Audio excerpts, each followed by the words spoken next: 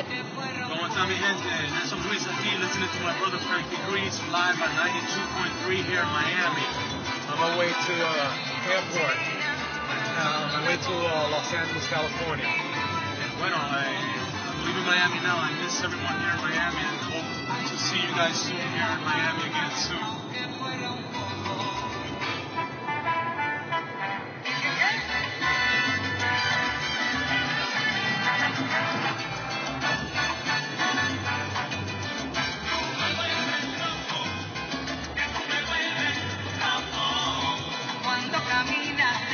manera that.